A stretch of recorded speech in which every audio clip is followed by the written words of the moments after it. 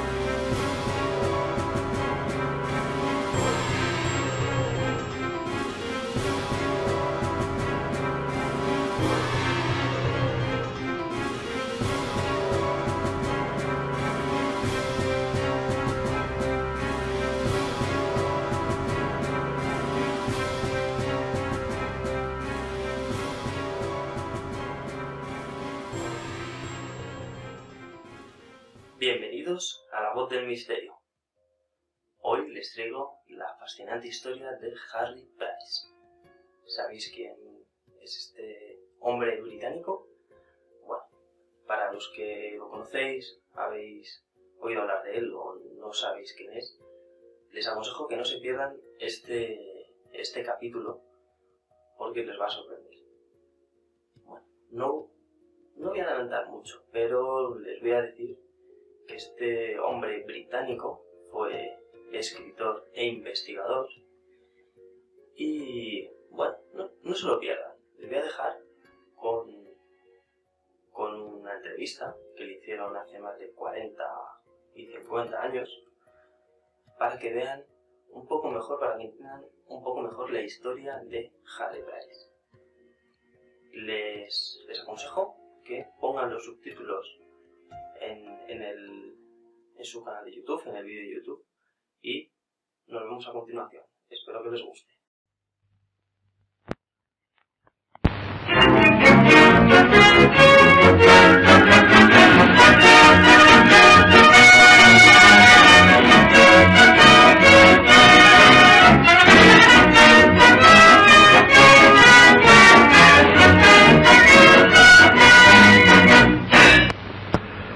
Is psychical research? A popular opinion says that it means going to seances, holding hands in the dark, singing hymns, and perhaps getting in touch with your dead relatives. But in this, popular opinion is only partly correct because it is confusing a psychical research with a spiritualism. A psychical research is a science and is rapidly becoming an exact science. Its object is to, is to ascertain by exact experimental methods how far the alleged phenomena of the seance room can be brought into line with normality. Uh, these uh, phenomena, which are produced by people who claim abnormal powers and who call themselves mediums, can be divided into physical and mental. The mental includes uh, clairvoyance, uh, psychometry, the direct voice which spirits are supposed to produce at seances, and similar uh, manifestations. The physical uh, phenomena includes uh, telekinesis, or the uh, abnormal movement of objects without uh, physical contact, the poltergeist uh, phenomena you read about in connection with haunted houses, and similar manifestations. There is an idea that the, the study of alleged abnormal phenomena is quite modern. But that is not the case. People have been interested in psychic uh, phenomena from the very earliest times, and even the literature of the subject is very old. In our research library of some 12,000 volumes, we have books going back right to the 16th century. I'll show you one or two.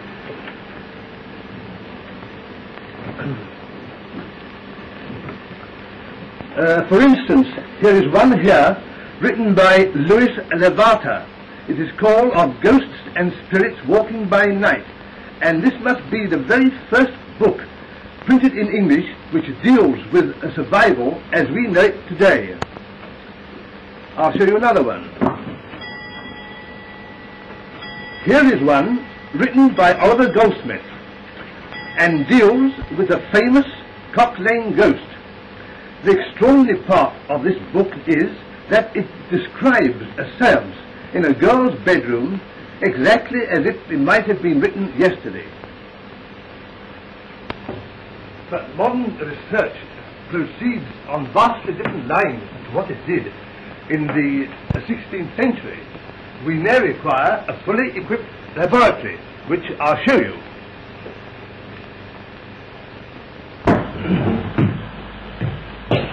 If a man comes to us and says that he can produce abnormal uh, phenomena, then we test him by instrumental means. We have a number of special instruments for this purpose, including a dictaphone, a cinematograph projector and cameras, X-ray apparatus, infrared, ultraviolet, and many others, such as microscopes, etc. Now here are some very ingenious slates which I have taken out of our museum of such objects. Now these slates are very ingenious. Here you see a pair of simple slates, but not quite so simple. And when I tell you I gave eight pounds for them, you will know that there is a reason for the cost. A touch of a spring and you notice that they are covered with writing and a drawing uh, of an alleged uh, spirit. Here is another exhibit from our museum. Apparently it is a very well-made mahogany box which I will proceed to lock. Now that, to all intents and purposes, is locked fast. But by touching a screw here, one can open the box whether it is locked or not. This is the kind of thing that some fraudulent mediums use, though, although not, of course, under any scientific uh, control. I will now show you the very ingenious mechanism of this box in detail. And you will see that the staple has been caught in the lock. Of course, the staple has come from the lid. When I, when I close the box again and replace this pin, you'll notice the box is again locked. I will now unlock it and of course the staple is back in the lid again, although it would uh, defy anyone to find where a mechanism was hidden. We get some extraordinary investigations to do, but I think the most extraordinary was the opening of Joanna Southcott's famous box. Now, this box was opened at the Church House, Westminster in 1927 and a wave of excitement passed through the audience as I cut the steel bag. The box contained the most extraordinary collection of objects. Here is a wire puzzle, very ancient puzzle. Joanna Southcott's night, uh, nightcap, very curious. A dice box, but what Joanna wants with a dice box I can't say. A lottery ticket, number 382, for 1814. I'm afraid it didn't win anything. A horse pistol. An ancient purse full of really very valuable coins. This is the most interesting exhibit. Books, uh, several books as a matter of fact, and a piece of paper printed on the Thames, February the 3rd, 1814.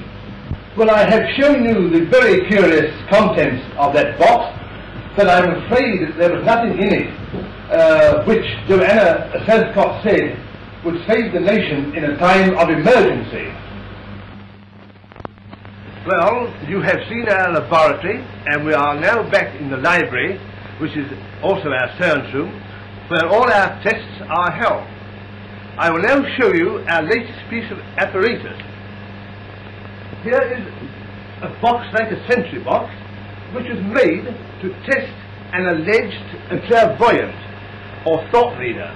This man stated that he could find hidden objects in a room. So we had our suspicions that he found these objects by watching the audience or by getting indicia from the movements of the audience.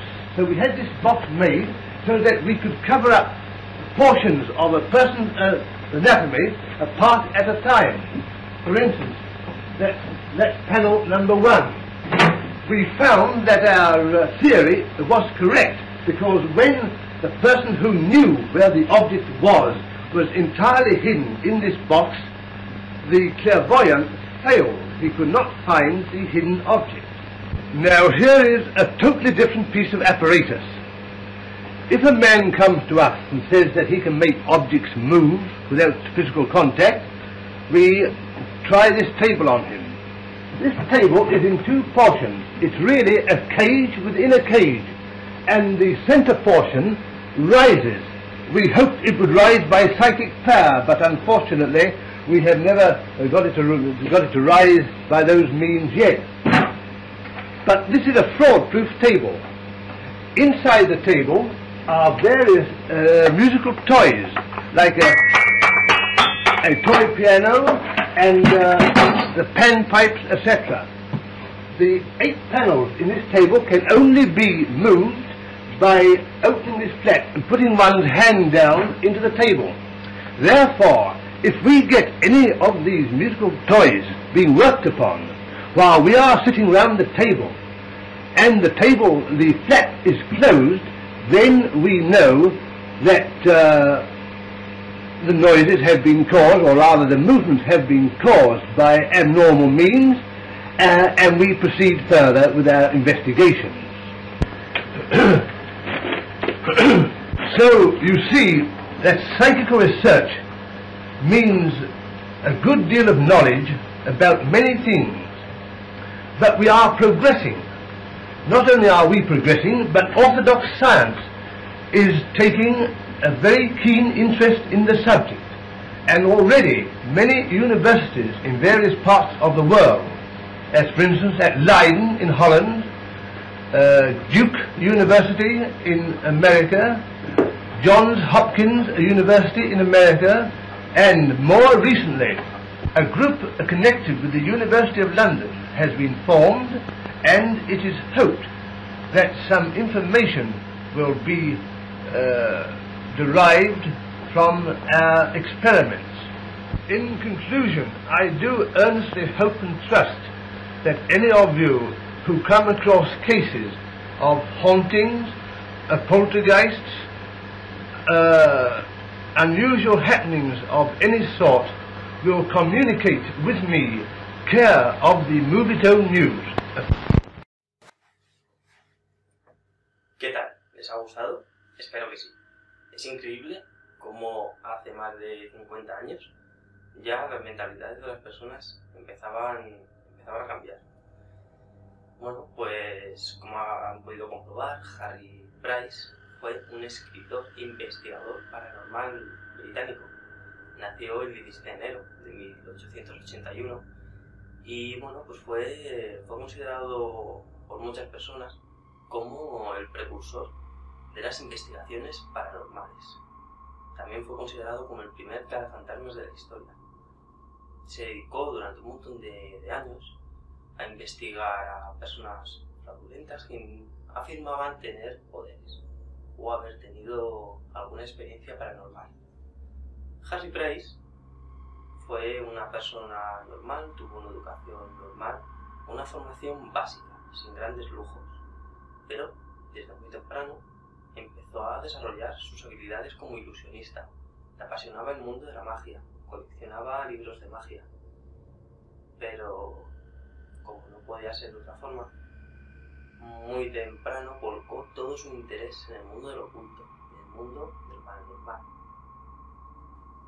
Harry Price empezó a desarrollar su talento muy pronto. A la temprana edad de 15 años ya escribía obras de teatro. De hecho, hubo una una obra de teatro que dejó fascinada a la gente. relata una terrorífica historia que vivió en sus propias, en sus propias carnes.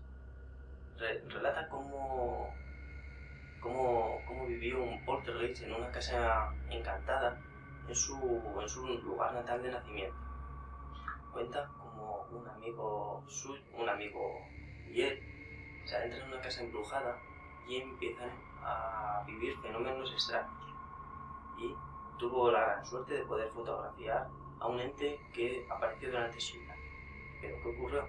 Bueno, pues por aquel entonces las, las cámaras había que cargarlas con, con magnesio y eh, se, se pasó de la cantidad de magnesio que tenía que poner y la foto salió velada. Entonces no era tan fácil sacar una fotografía como ahora.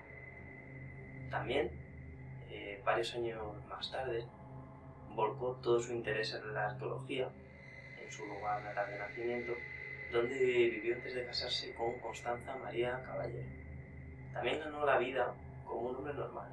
Fue periodista para los periódicos de esta ciudad y como vendedor en una fábrica de papel. En 1922, Harry Price se une al Círculo Mágico, donde se convierte en un mago aficionado experto.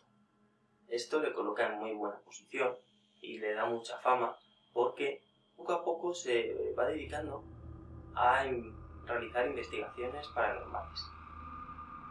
y en 1922 realiza un gran descubrimiento, un gran logro para la psíquica, porque desenmascara a William Hope. William Hope, como han podido ver, afirma haber fotografiado a un ente, a un fantasma.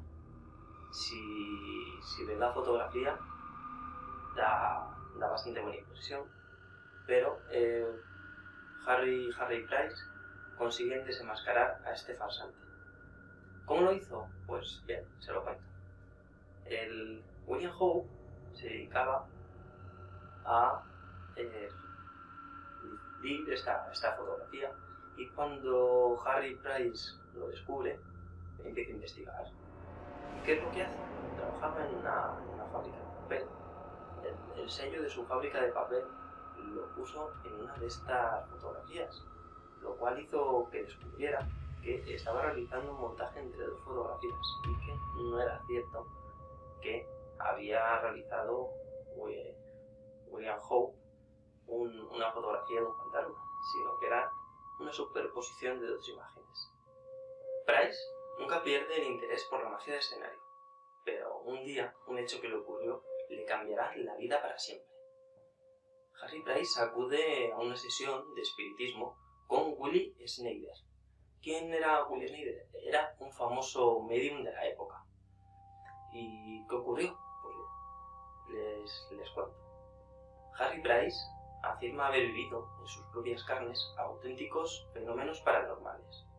Es entonces cuando empieza a acudir a más sesiones de espiritismo con otra famosa medium llamada Stella Krasnau. ¿Y qué ocurre? Pues a partir de entonces afirma vivir auténticos fenómenos poltergeist, que más adelante empieza a dejarlos reflejados en sus libros. Price tuvo su propio laboratorio de psíquica, llamado Laboratorio Nacional de Investigación Psíquica, gracias al cual pudo aportar al mundo de los fenómenos paranormales multitud de pruebas y artículos de sus investigaciones. En, este laboratorio, en sus investigaciones, logró desenmascarar a muchísimas personas fraudulentas, personas que afirmaban poder mover objetos con la mente o otras personas que eh, afirmaban expulsar ectoplasma por la boca. Sí, a todos les, consiguió desenmascarar, aunque también Harry Price vivió, en sus propias carnes bastantes fenómenos paranormales gracias al cual nunca perdió su, creencia en, en, los fantasmas, en los entes o en los fenómenos paranormales. Por eso le gustaba, le gustaba tanto desenmascarar a aquellas personas que mentían. Price tuvo una muerte trágica y rápida. El 29 de marzo de 1948 murió instantáneamente de un ataque al corazón. Pero todo su trabajo no fue en balde. todos los, todos los amantes del mundo paranormal tuvimos mucha suerte, porque la mujer viuda de Price donó todas sus investigaciones, artículos y ensayos a la Universidad de Londres. Bueno, pues hasta aquí la historia de hoy. Espero que, les haya gustado la, vida de este primer eh, cazafantasma de, la historia. Si les ha gustado, no olviden suscribirse y darle a like. Y no se pierdan el capítulo de la semana que viene. Ya les digo que no les va a defraudar. Buenas noches, amantes de lo paranormal.